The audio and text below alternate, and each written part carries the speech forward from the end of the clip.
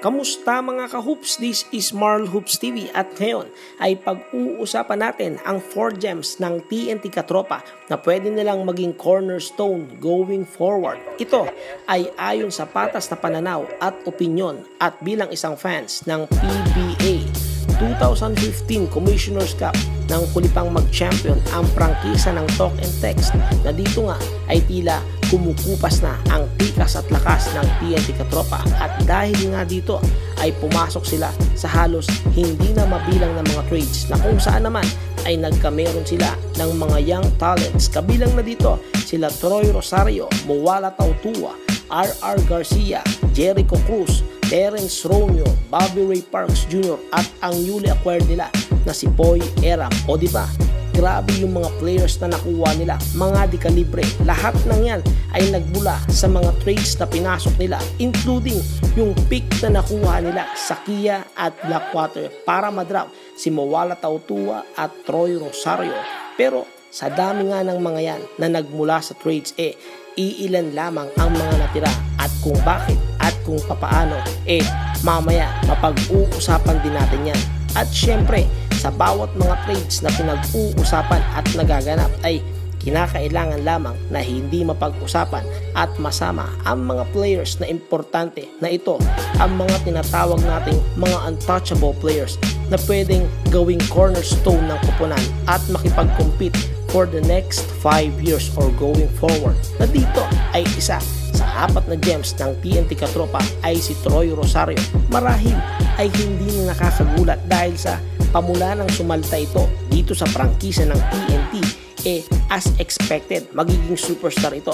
Isa pa, eh sobrang versatile ng mamang ito na pwede itong maglaro ng either 3, 4 or 5 position. Pero mostly 4 o 4 talaga yung natural position niya. Pero kung natatandaan nyo, last Governor's Cup na most of the time eh siya yung nagsisingko o sentro upang makapag-create ng mga mismatches pagdating sa opensa. At kung sa depensa naman, eh medyo wala pa ding problema dahil sa switchable naman na pwede silang magpalitan ng bantay ng mas malakas sa kanya na import nila na si KJ McDaniels Grabe din yung outside shooting ni Troy Rosario. At kahit papaano naman eh nade-develop niya na yung post moves niya. At kung pagdating naman sa depensa eh bagamat sa taas niya na 6 foot 7 eh hindi ito kilala sa pagiging shot blocker. Pero gayon pa man eh magaling na defender naman ito na may quick lateral movement o quick fit upang makadepensang mabuti sa opposing players. Isa pa, eh 28 years old pa lang ito. Kaya mahaba-haba pa ang magiging serbisyo nitong si Troy Rosario para sa TNT Katropa. Pumapangalawa nga dito ay si Bobby Ray Parks Jr. na isang 6'4 na bago pa ito maglaro sa PBA eh nakapag NBA G League na din ito.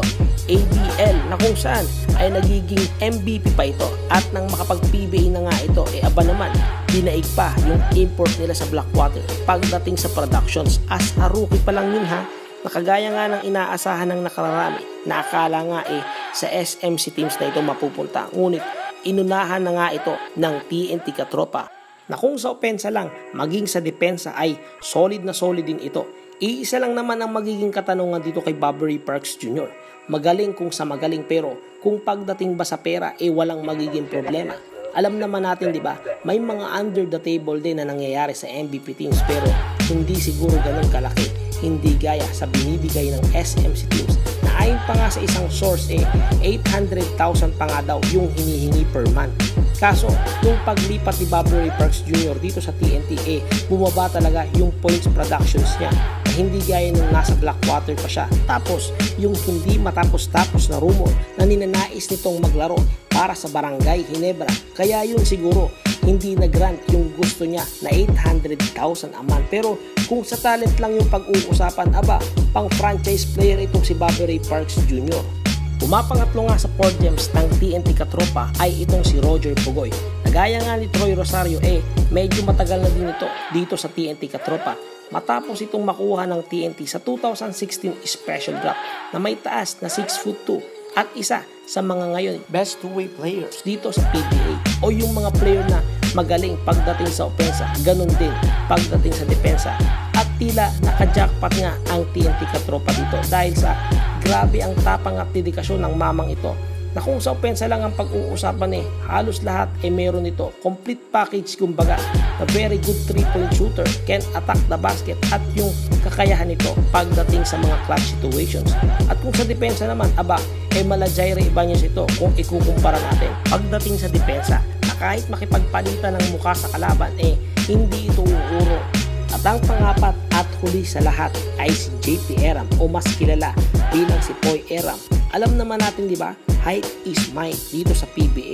At sa sitwasyon ng TNT Katropa ngayon na nasa kupunan na muli nila si JP Eram na dating player na pinakawalan nila na very different na ang laro nito ngayon lalong lalo na pagdating sa depensa. Alam naman natin matagal-tagal na ding pinoproblema ng TNT Katropa ang magkamero ng isang legit big man na pwedeng maging pantapat kay Junmar Pahardo at Greg Slaughter na ngayon nga ay sa wakas ng panahon eh ito na meron na silang legit big man na sana lang eh hindi na nila muling sayangin pa at hindi na nila pakawalan pa. Isa pa nga, eh magti 31 years old pa lang ito.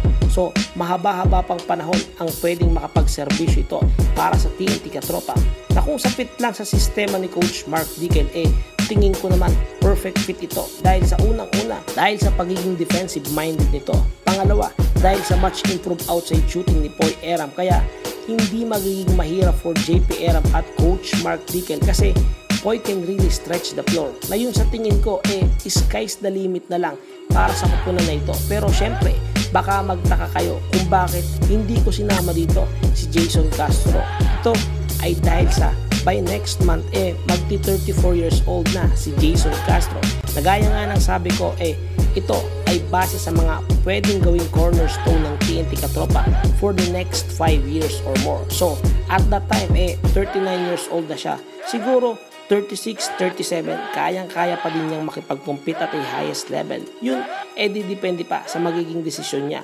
Isa pa sa mga nakalipas na taon nga na kung saan eh mayroon silang Jericho Cruz at Terence Romeo. Ganun na din kay RR Garcia na noon sana eh may mga extra firepower na ang TNT Katropa. Ngunit hindi nga nag-workout dahil sa lumabas na mga rumors. Ito ay ayon sa mga sources na hindi nga daw makasundo ni Jason Castro ang mga players na yon dahil siguro sa ayaw masapawan at dahil sa syempre Jason Castro yan.